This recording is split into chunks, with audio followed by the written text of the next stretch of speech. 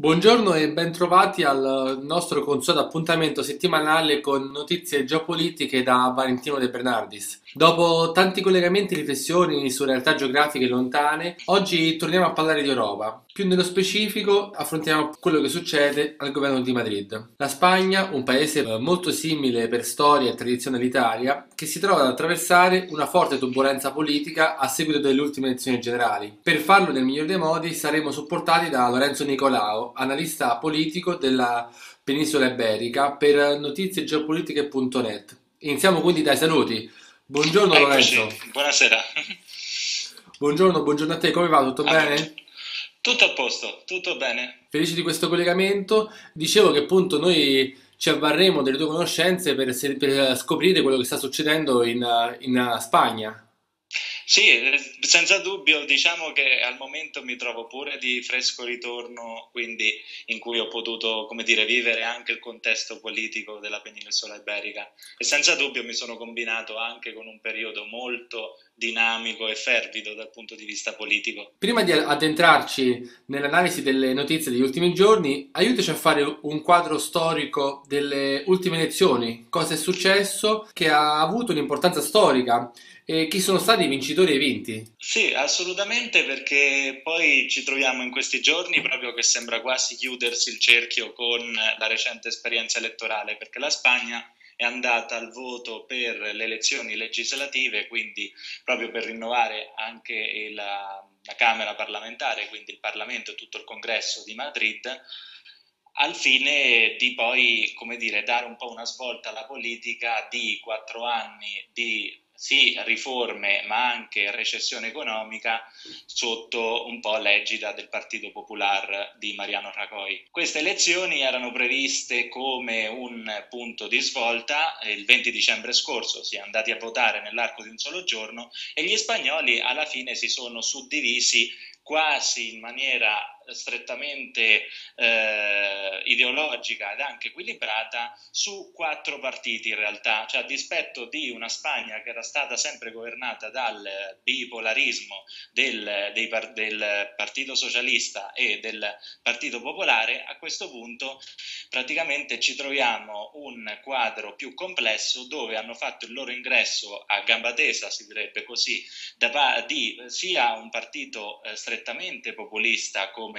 lo è Podemos, che praticamente è nato dal movimento degli indignados che si è eh, sviluppato, ha trovato le proprie radici proprio a seguito della recessione economica che ha investito come l'Italia anche la Spagna nell'arco dell'area mediterranea, anche poi eh, c'è stato l'ingresso di Ciudadanos che è un partito invece di centrodestra di stampo liberale che ha ottenuto il 13,9%, quindi una totalità di 40 seggi, mentre andando a salire Podemos ne ha ottenuti 69, quindi un numero considerevole per un partito che è entrato nell'arco di queste elezioni per la prima volta a far parte del contesto politico attivamente a livello nazionale, poi eh, che naturalmente hanno seguito i due partiti di tradizione, quindi il Partito Socialista, il PSOE con il 22,1% e 91 seggi, e ne ha persi quindi 20 a, a, seguito delle elezioni invece del 2011, mentre ha vinto, ma senza ottenere la maggioranza assoluta, il Partito Popolare con il 28,7%, 122 seggi, ben 64 in meno. Infatti nell'arco della politica spagnola c'è da dire che il Partito Popolare al momento è un po' mal visto, vogliasi per gli scandali fiscali, vogliasi per una politica che a detta di molti andrebbe rinnovata, che ha un po' agevolato quelle che sono le posizioni più populiste e comunque partiti che vogliono rinnovare naturalmente eh, comple- e completamente soprattutto quella che è la eh, politica spagnola. Ovviamente la cosa più rilevante di queste elezioni è che senza nessuna modifica a livello di legge elettorale si sia passati dal bipartitismo di fatto, alla fine pur con la presenza di tanti piccoli partiti che rappresentano le, eh, le, i regionalismi e i partiti autonomi, poi a un, eh, un quadripolarismo, verrebbe da dire, con quattro principali partiti che però sono caratterizzati da posizioni ideologiche completamente differenti. Due di stampo più tradizionale, storico come il Partito Popolare e il Partito Socialista e due di eh, invece stampo più rivoluzionario come Podemos e Ciudadanos, pur essendo due di centrodestra e due di centrosinistra, quindi un quadro veramente, eh, verrebbe da dire, grottescamente simmetrico. Hai parlato di due movimenti politici eh, come Ciudadanos e Podemos, che in un certo senso, come appunto tu dicevi, hanno rotto le regole del gioco e di quell'alternanza a cui hai accennato tra socialisti e popolari, che dal ritorno alla democrazia del paese si sono alternate alla guida della Spagna. Vado a memoria, mi sembra di ricordare, da Gonzales, poi c'è stato Aznar, Zapatero, Rajoy. Quali sì, assolutamente. Praticamente è un punto di svolta rispetto a quella che è la storia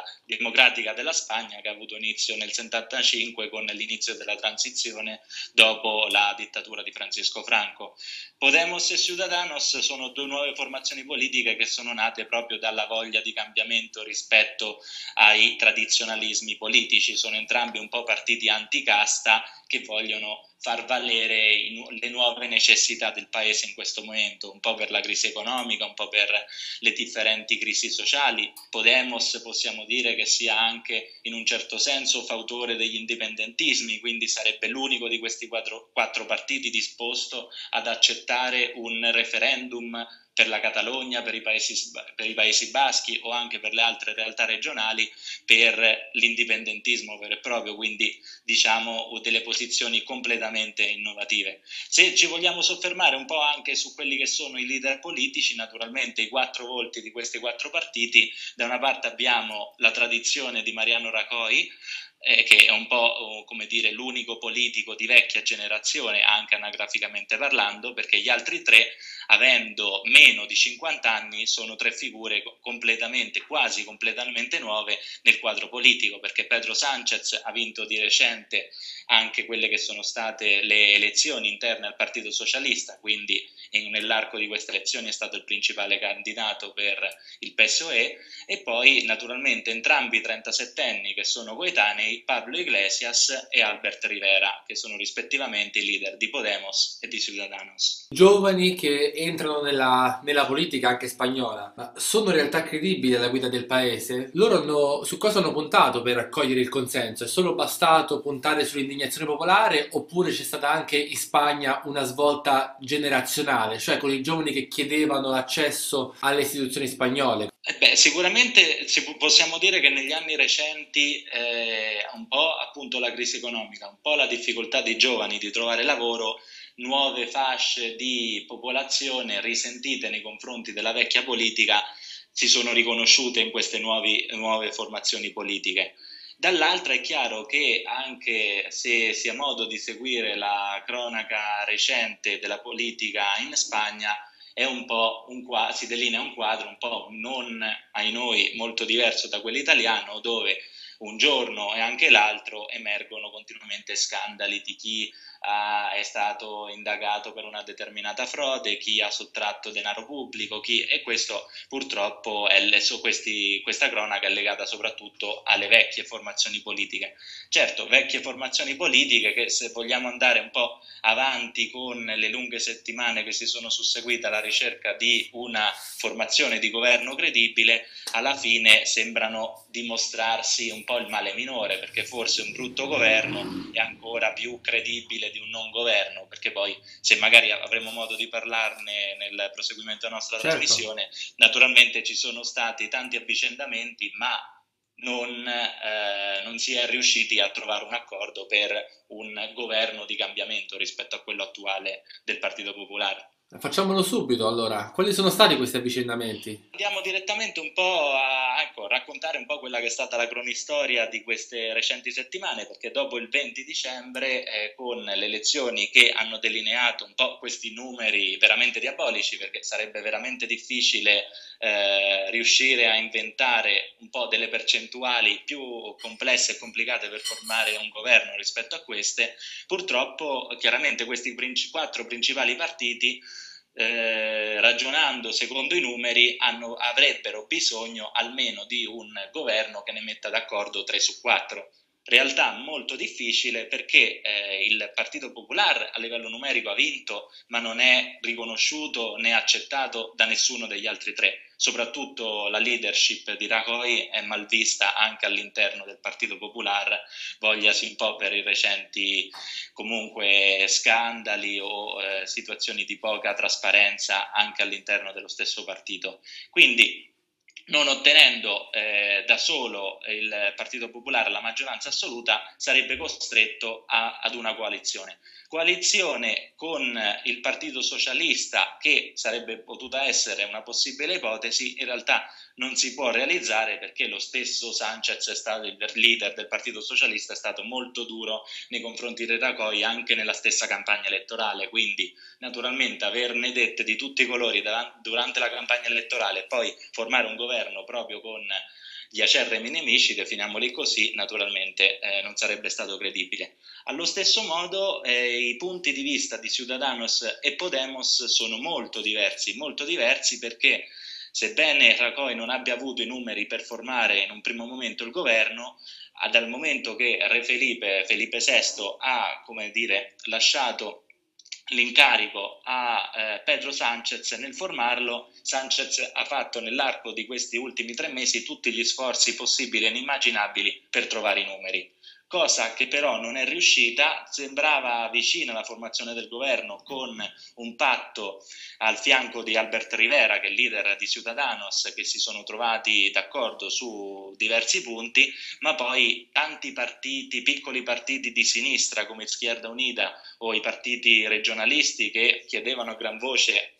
la possibilità di ottenere un referendum per l'indipendenza, naturalmente non erano posizioni troppo conciliabili con quella che è la posizione naturalmente di stampo più tradizionalista o comunque di unità nazionale che ricopre comunque il Partito Socialista. A maggior ragione difficoltà che è emersa e di cui anche tutti i quotidiani e le testate spagnole oggi hanno accusato stesso, la stessa formazione politica Podemos è stata proprio la, eh, dire, l'arroccamento ideologico di Pablo Iglesias, leader di Podemos, nel mantenere fermi i suoi i suoi punti, le sue basi del programma eh, elettorale, come dire, la, la possibilità di un nuovo, un nuovo, approccio economico all'interno del paese con una forte discontinuità con quello che è stato fatto finora, naturalmente avrebbe, come dire, destabilizzato un po' i mercati che ancora non nutrono fiducia nelle nuove formazioni politiche e così eh, Pedro Sanchez non è proprio riuscito a conciliare il leader di Podemos con quello di Ciudadanos. Ovvio che la posizione, come dire, la vocazione più indipendentista eh, un po' per la quale simpatizza Podemos era inaccettabile per il Partito Socialista. Quindi naturalmente possiamo vedere che sia un quadro abbastanza complesso e dove poi l'annuncio di nuove elezioni da parte del re per il prossimo 26 giugno non sappiamo bene a quale possibile scenario dia, dia luce, perché poi essendosi arroccati tutte sulle proprie posizioni, la campagna elettorale in realtà è stata, è stata ed è rimasta perennemente aperta. È molto probabile allora che si torni alle urne, anzi ufficiale possiamo ben dirlo, che si sì, questa mattina l'ho accennato il re, infatti proprio come dicevo si è chiuso un po' il quadro, il eh, circolo di questa appunto vicenda post-elettorale dal 20 dicembre a oggi. Quindi... Dato allora quello che tu ci hai raccontato di un quadro molto complesso in cui tutti sono arroccati nelle proprie posizioni, quasi in una situazione di pronti bruciati alle spalle, la decisione di tornare alle urne può essere una soluzione alla risoluzione di tutti questi problemi? Perché mi chiedo se le urne dovessero uh, ripetere lo stesso risultato che abbiamo avuto a dicembre, cosa può succedere? Eh, questa è la famosa domanda da un milione di dollari o di euro, visto che siamo in Spagna, ma la situazione è complessa proprio perché il quadro non è, non è, affatto chiaro. Le nuove elezioni sono state giudicate da politologi, economisti, esperti e stessi giornalisti un po' il fallimento della politica spagnola da questo punto di vista, perché eh, diverse eh, i diversi colori politici, le diverse forze non sono riuscite proprio a mettersi d'accordo, sebbene la Spagna sia un paese che in questo, in questo momento ha veramente bisogno di un coordinamento di largo intese, verrebbe dire quasi di un bisogno di un governo di unità nazionale, come vediamo poi nell'arco dell'Europa ce ne sono tanti. Naturalmente da una parte eh, può essere meno credibile la Spagna a livello internazionale proprio perché priva di un governo, su questo battono molto le stesse, le stesse realtà regionali autonome e autonomiste perché chiaramente si, si scagliano contro il governo centrale, vedete la Spagna non riesce a formare un governo, è il tempo per la secessione. Questo è un po' quello che si racconta a Barcellona, per esempio, dove questi spiriti sono molto vivaci. Allo stesso modo, però, è chiaro che eh,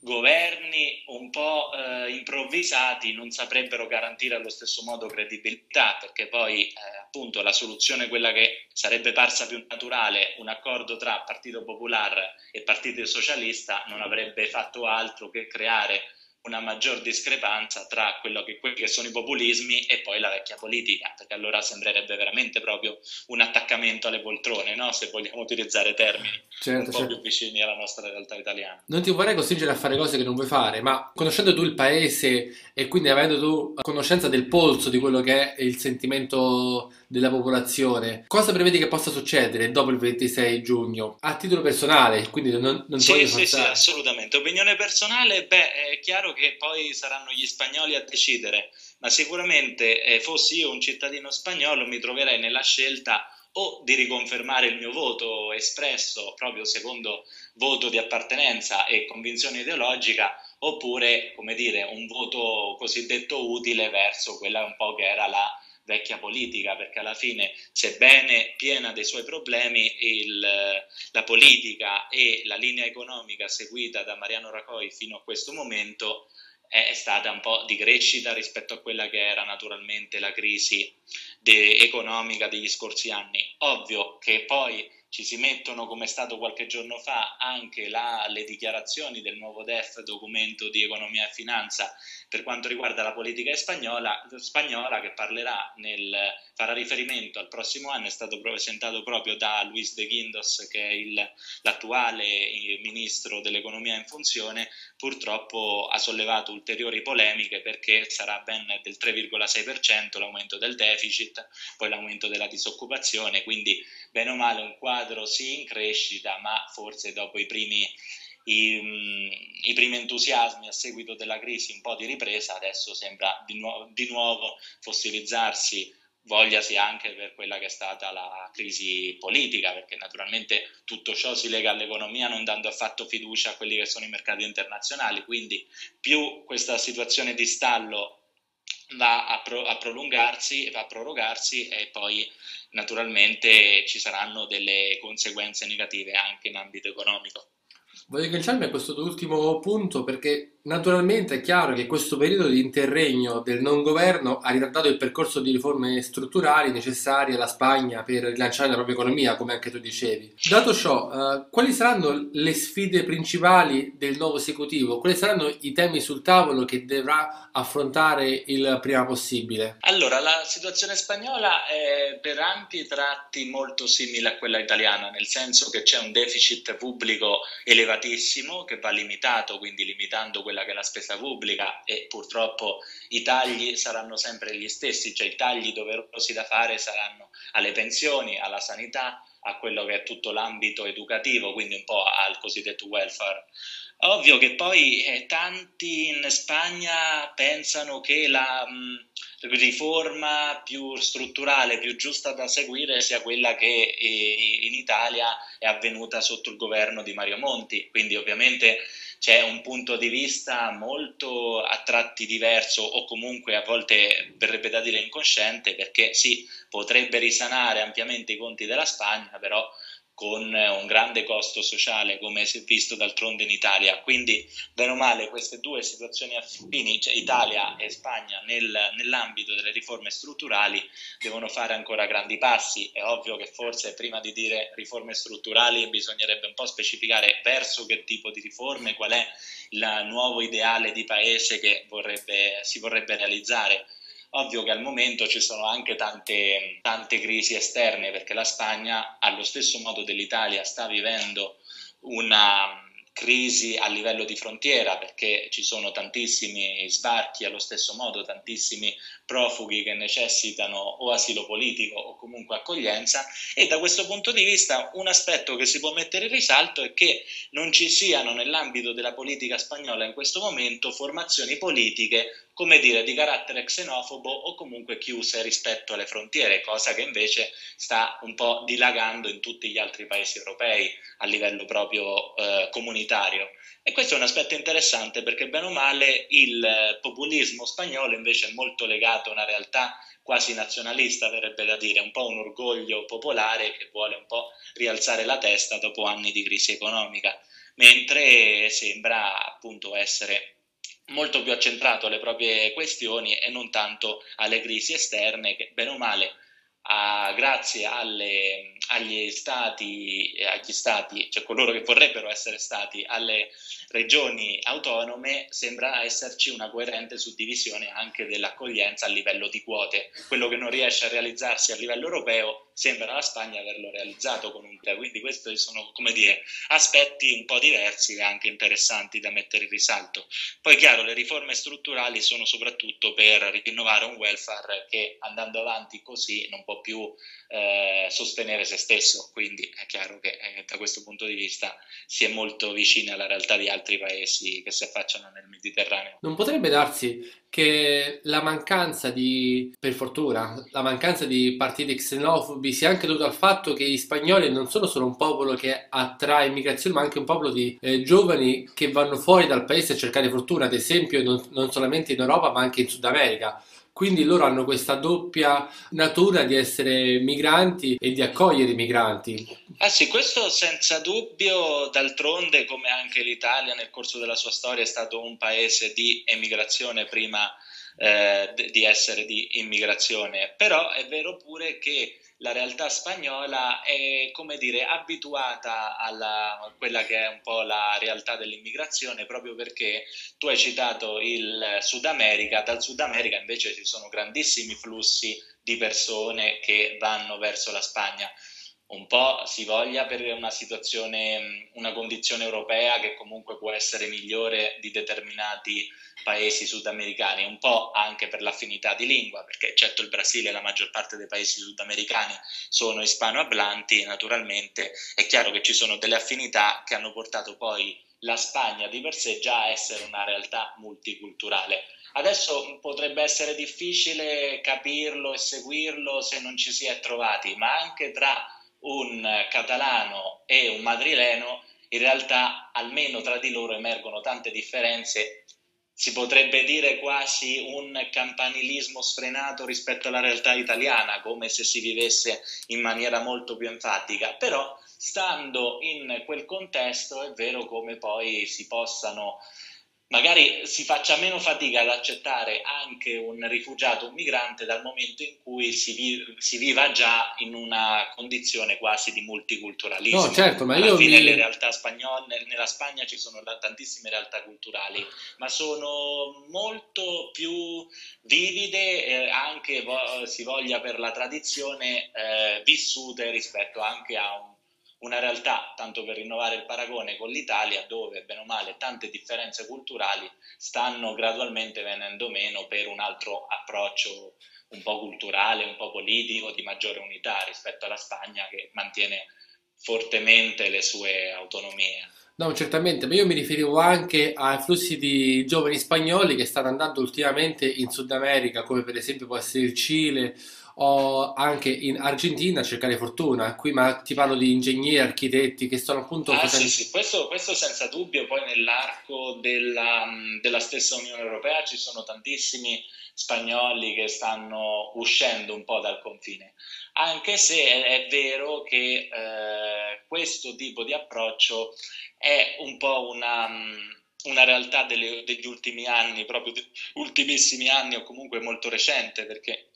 la Spagna, avendo ottenuto la sua democrazia circa 40 anni dopo rispetto all'Italia, alla fine eh, come dire, c'è anche una realtà molto, molto forte a livello patriottico, quindi sì, eh, la Spagna si sta aprendo notevolmente negli ultimi anni, cioè, sappiamo per esempio che è entrata nell'Unione Europea nel 1986, quindi eh, in tempi molti, molto recenti, però è vero anche che appunto anche entrando a contatto con gli spagnoli, eh, questa vocazione internazionalistica ancora non c'è. Per esempio, posso fare riferimento a determinati corsi universitari dove ancora eh, insegnare politica internazionale, cosiddetta politica internazionale, è, è, un riferimento a quelle che sono le realtà indipendentiste della Spagna, non ad altri contesti magari extraeuropei. Quindi, naturalmente, eh, sarebbe un po' una novità al momento che in Spagna si sta, come dire, diffondendo, forse anche su spinta della crisi eh, per tanti giovani, però ancora anche lo studio delle lingue straniere la Spagna lo sta incentivando proprio in tempi più che recenti. Permettimi di fare un attimo un salto indietro a quello che hai detto pochi minuti fa in particolare quando abbiamo affrontato il tema delle, dei problemi che deve affrontare il nuovo esecutivo. La possibilità che il nuovo esecutivo possa o meno dare vita a politiche di austerity dal punto di vista economico potrebbe essere, uh, potrebbe giocare a favore delle richieste indipendentiste? Eh, questo, come un po' avevo accennato, potrebbe essere notevolmente Naturalmente mh, il discorso principale è che purtroppo il, ad esempio, per, tanto per citare qualche nome, la politica di Mariano Rajoy del Partito Popular non è affatto riconosciuta in ambito interno, infatti per eh, determinati anche eventi recenti stessa, le stesse elezioni del 20 dicembre lo hanno, lo hanno, punito con 64 seggi in meno a livello elettorale. Però poi c'è pure da dire che eh, il, all'interno del quadro internazionale il governo di Rajoy era come dire, pienamente inserito in quelle che sono le politiche comunitarie europee, oltre naturalmente aver, come dire, eh, essere riuscito a far crescere leggermente il paese attraverso politiche di eh, eh austerity, quindi naturalmente è riuscito, come dire, Rajoy è riuscito ad accontentare un po' quelle che erano le richieste di Bruxelles e un po' poi le richieste interne, ad esempio, anche se è stato subito, è stato subito accausa, eh, accusata scusami, come eh, mossa quasi eh, in chiave di campagna elettorale, restitui- è stato restituito il 50% di bonus natalizio per i dipendenti pubblici che era stato soppresso nel 2012. Questa è stata una mossa recente recentissima da parte del governo del Partito Popolare a seguito un po' dell'ultimo eh, decreto di eh, economia, documento di economia e finanza che ha visto come dire, dei dati negativi di previsione per i prossimi due anni. A questo punto è chiaro che, sebbene possa essere accolta positivamente un uh, populismo da parte delle nuove formazioni eh, partitiche e politiche, cioè un partito di cambio in questo momento che magari voglia garantire più welfare, più benessere per gli spagnoli, sarebbe purtroppo allo stesso modo mal visto dai, da Bruxelles e soprattutto dai conti del, del tesoro nel senso che naturalmente la Spagna deve effettuare dei tagli, deve assolutamente effettuare dei tagli perché ha un debito pubblico insostenibile, questo è il principale problema. Ovviamente qualsiasi difficoltà centrale di Madrid è subito sfruttata da che so, quelle che sono poi le formazioni partitiche autonomiste e dai regionalismi, perché anche Barcellona ha avuto le sue difficoltà nell'ambito dell'elezione del nuovo presidente della Generalitat Generalitat, ma ad esempio eh, Carles Puigdemont è stato, come dire, una figura, è stata una figura, ex, l'ex sindaco di Girona, accolto notevolmente a livello popolare proprio perché era segno di un'unità eh, barcellonese molto più consolidata rispetto a quella madrilena del governo centrale, quindi ovviamente qui si fa una disquisizione sia mediatica che poi strume, strumentale a quelli che sono poi le, i fini politici delle stesse realtà regionali che non, non, è, non è da poco. Allo stesso tempo la comunità valenziana ha un governo di larghissime intese dove come dire, pur di avere un governo a dispetto di Madrid, si sono, messi si sono messe d'accordo formazioni politiche completamente diverse o comunque di base un accordo, tanto, perché, tanto per ricollegarci anche a quella che è la politica nazionale, un accordo tra, tra Compromiss, che è un'unione di diverse sinistre, a Podemos, cosa che molti cercano adesso di, e sembra che ci siano dei, dei buoni passi avanti a riguardo, di mh, riuscire a convertire questa realtà eh, regionale valenziana in una realtà nazionale dove probabilmente, a differenza delle, delle, delle ultime elezioni, nelle prossime Podemos correrà insieme a Izquierda Unida, il che sarebbe uno scenario, come dire, non rilevantissimo nel quadro generale, ma sicuramente qualche spostamento dei pezzi della scacchiera sta avvenendo, anche perché eh, naturalmente al di là delle, degli arroccamenti ideologici qualche novità, qualche dinamismo va portato perché altrimenti anche l'elettorato come ne parla la Spagna, insomma, pensa di essere un po' preso in giro perché chiaramente tutti i cittadini spagnoli saranno nuovamente chiamati alle urne dopo qualche mese. È chiaro che il quadro non è ampiamente soddisfacente. In fase finale del nostro incontro, uh, proviamo un attimo ad ampliare eh, il nostro discorso con temi più generali. La Spagna sembrerebbe rappresentare una perfetta cartina di tornasole dell'ingovernabilità comune a, a molti paesi d'Europa, in special modo a quelli del Mediterraneo. È questa una, una, generalizzazione errata oppure anche tu rintracci questo filo rosso? Beh, diciamo che ecco il tratto che, tanto per ricollegarmi a quello che ho detto precedentemente, il tratto più distintivo della Spagna è che non ci siano fortissimi populismi intesi in chiave nazionalistica e magari chiusa rispetto alle frontiere, rispetto all'immigrazione, rispetto appunto a politiche di destra, alla fine possiamo definirle proprio di destra, se non di destra estrema, che stanno un po' dilagando negli altri paesi europei, quindi naturalmente dei nazionalismi stanchi e magari ecco, eh, partiti che riescono a sfruttare anche la contingenza economica sfavorevole o le incertezze stesse dell'Unione Europea di questo momento, naturalmente sembrano non essere presenti in Spagna. Chiaro che poi l'ingovernabilità eh, sia dovuta anche a un cambio generazionale che riguarda un po' anche altri paesi europei, se possiamo appunto citare nuovamente l'Italia o vedere anche un po' la crisi politica del Partito Socialista in, in Francia, dove Hollande non ha più nemmeno forse la per, non avrebbe, andassi, andasse oggi alle elezioni, la percentuale per arrivare al secondo turno nelle elezioni francesi, è chiaro che mm, c'è un quadro comunque di grande cambiamento in questo momento. Forse anche per le incertezze centrali di Bruxelles e dell'Unione Europea, forse perché ci sono tanti malcontenti dove gran parte di questi paesi, soprattutto sul bacino del Mediterraneo, non sono riusciti a superare la crisi economica. Si veda la Grecia su tutti, chiaramente che viene anche vessata da quella che è la situazione dell'immigrazione nel Mediterraneo, è chiaro che poi